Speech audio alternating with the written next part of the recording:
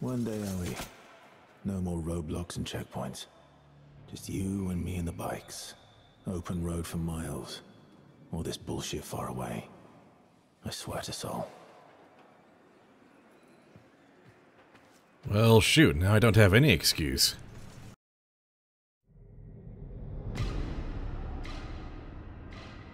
Let's play Dark Sector. Again. Let's just go ahead and soft reboot the whole thing. We're gonna do this uh, live to tape rather than with pre-recorded gameplay and scripted uh, commentary after the fact, because that vibe doesn't really work with me. I've found that over the years. I just I prefer to be chill and just uh, play the game and comment on it in real time. So this is gonna be a little bit less structured, a little bit less scripted this time around. But with Warframe 1999 on the horizon, this is going to be probably the last time that this is going to be super relevant. and I did not realize they had an attract screen for this, which is just the first cutscene. So that's fun. I've been setting up for quite a while here, so...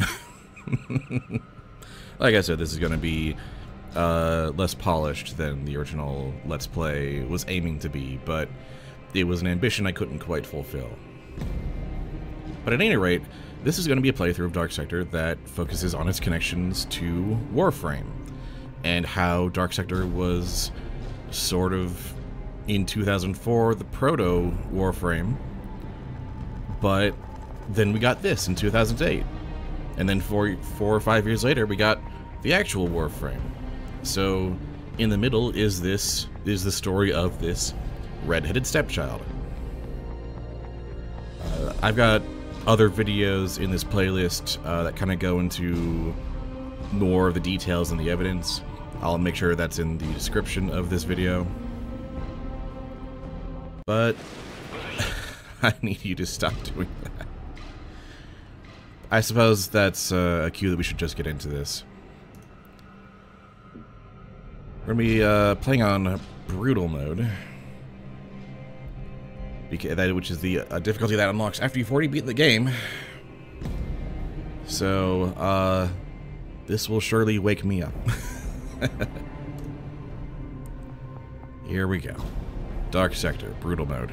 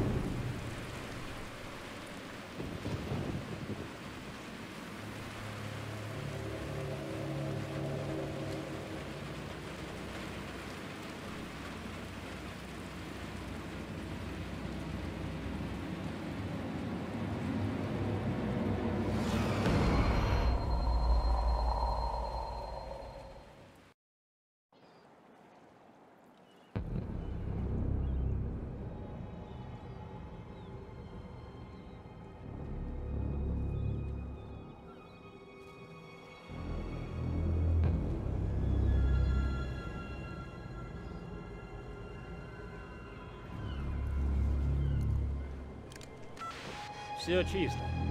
Продолжаю обход.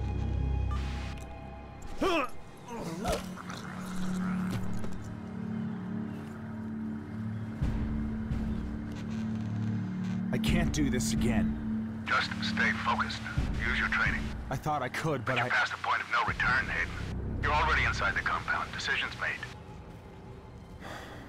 Are you sure this thing isn't airborne? It's not, but even booster's good for another six hours. Now get with it. Plant your charges. Then infiltrate the building.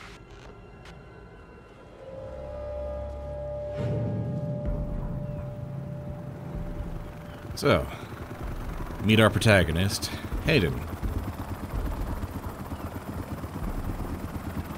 And if you uh, were lucky enough to have read the prequel comic, Dark Sector Zero, uh, I don't believe they say it at any other point in the game. Depends on following biohazard safety protocols. If you are bitten, report it immediately to your commanding officer. Ensure your mask is sealed and your weapons are locked. Sorry, listening to the ambient dialogue. Population is unarmed. Only through vigilance can we keep it that way. Hayden's last name is Hayden Tenno, which opens up a whole can of worms. Way back when I first started the Let's Play, even the name Tenno was kind of a mystery. You know, it was the, it's the name of the the player characters, the space ninjas that fight through the galaxy, but we didn't really fully know. There were some lore hints, but we weren't sure what Tenno meant. Now, pretty unambiguously, we do know what it means. It's the name given to the survivors from the Zariman 10-0 who returned from the void. Not exactly a way for a last name to be shared, but still pretty interesting in its own right.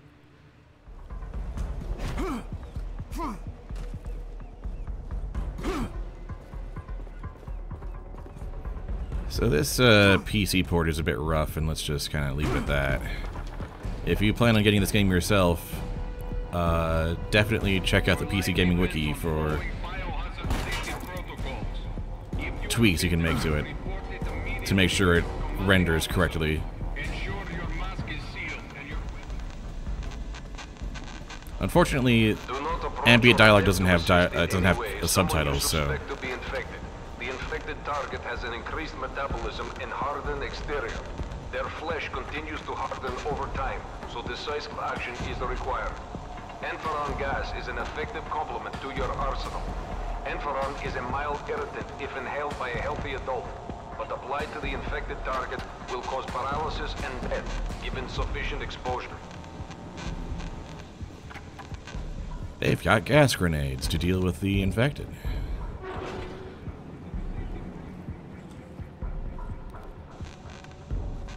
Yeah. I'll try to... I think I'll try to... Approach or attempt to assist in any way someone you suspect to be infected. I keep getting interrupted by ambient dialogue that has no subtitles. It's really annoying.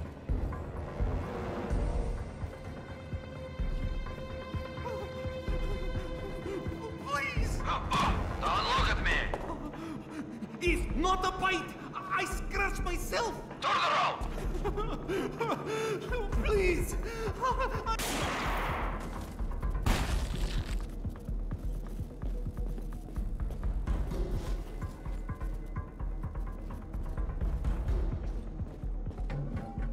So this kind of sets the tone, right? There's an infection going around, and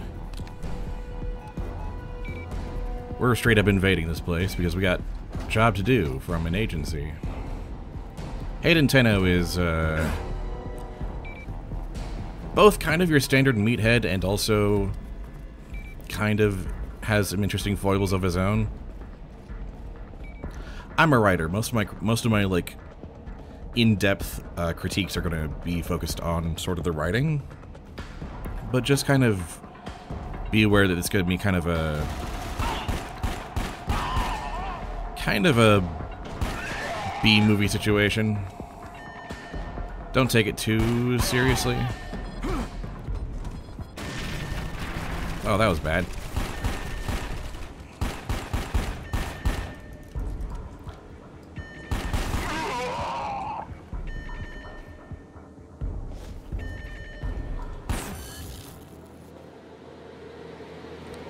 It's also worth mentioning this game originally came out in 2008, and the Bloom situation is going to be crazy.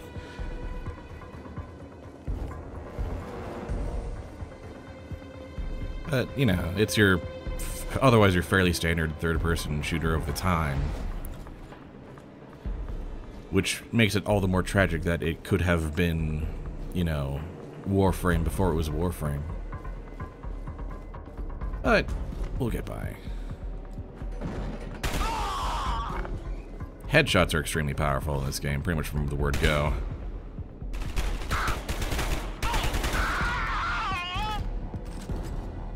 One headshot will do what like nine body shots would otherwise require. Also, you've got to be careful of every corner because they will just spawn mid-crossing.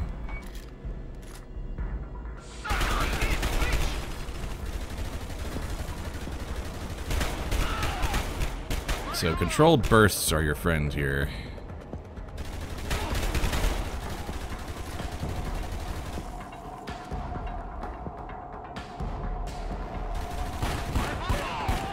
There we go.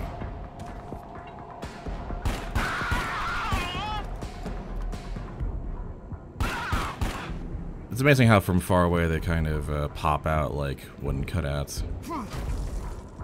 No, I said kick it.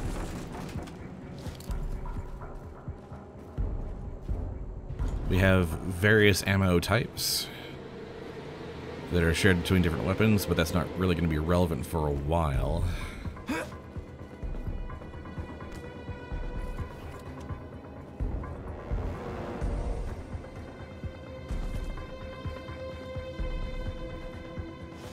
We can get a bunch of ammo that we need right now, but that's not going to be the case forever. Almost I almost kind of resent it. It kind of puts you into a false sense of security.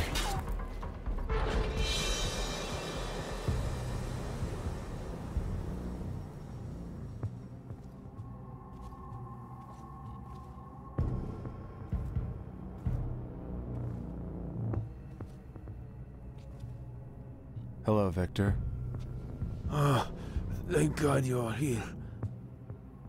Somehow he knows I sent Uh, that Hayden. message. Hayden, you I got just a little. need to know where Mezner is. The Wesleyan military is working for him now. They've got a chopper coming in. but listen to me. He's trying to get inside the vault. If that happens...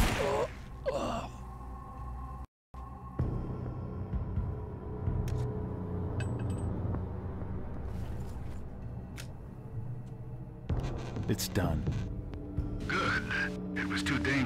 Extract him, and we can't risk bringing the infection back here. My head is killing me. You better pull it together. If Mezner gets that infectious material out of Lasria, it'll spread like the plague. I Just want to get this over with. So find Mezner. He's the linchpin. Put a bullet through his head.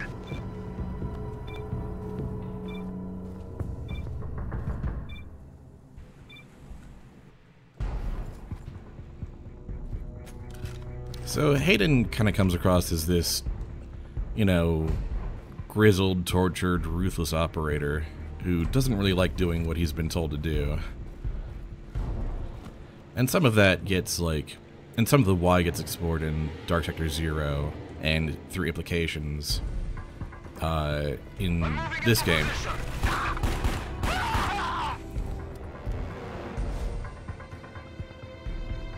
But Oh, jeez. This this whole kill box, jeez. Oh, very nice of you to step out for a second. Alright. Let's just go over this way.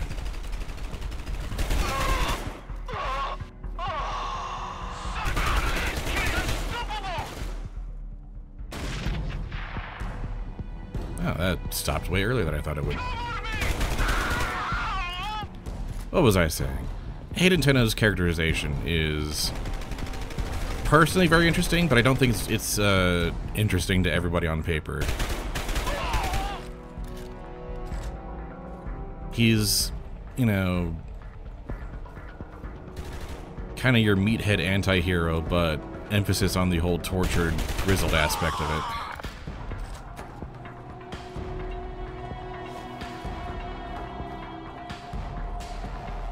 And I think that they, they, they do go into a kind of interesting place there. there. There's an ambition there that is worth discussing. But if I had to lay down like a broad criticism of this game's writing while I'm getting shot, okay, the neck, the neck, you don't respect the neck shots, but one headshot.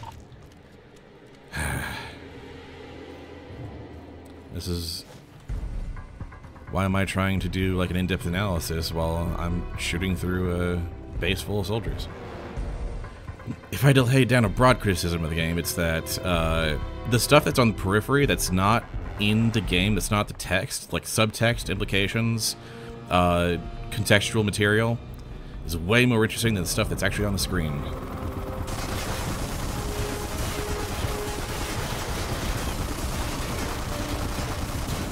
Now to fight a helicopter. Because in video games, all helicopters must die.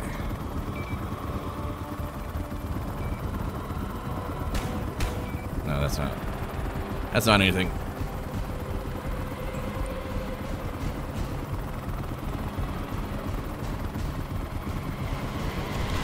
We do have grenades, by the way. They also have grenades. We do not have a lot of health.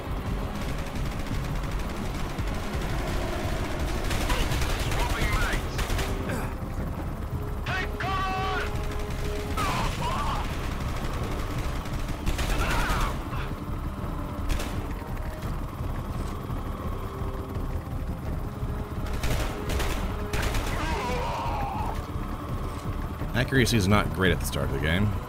Also, we need this. Very quickly. Oh.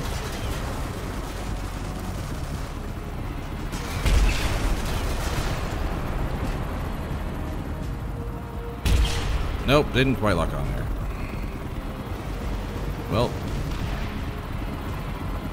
Oh, and he's already repositioning.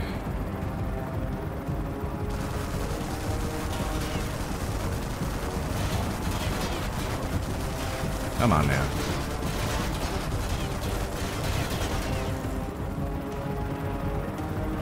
Here's where ammo resupply comes from mainly. Sometimes it takes a while to figure that out when you're first going through this. A lot of the major encounters in this game are a game of trying to figure out what am I supposed to do here.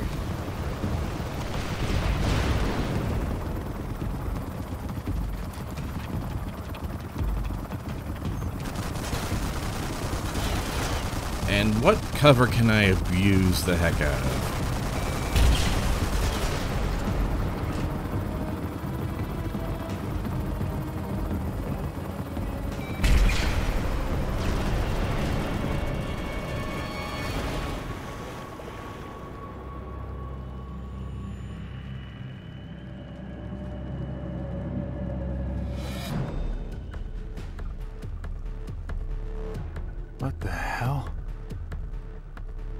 Hello, Nix.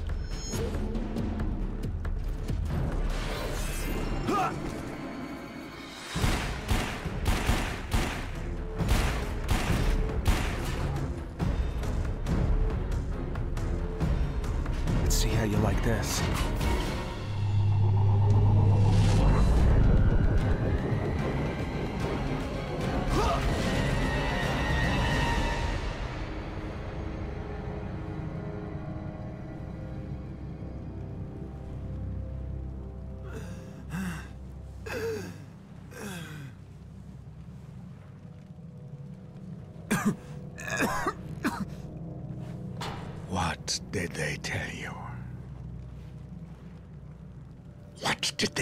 Tell you, Hayden?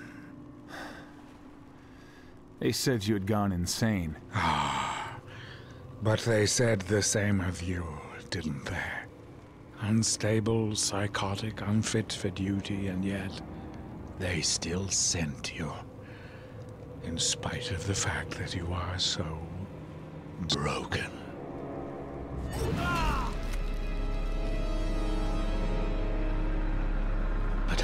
fix you. Do it. Wait! Wait!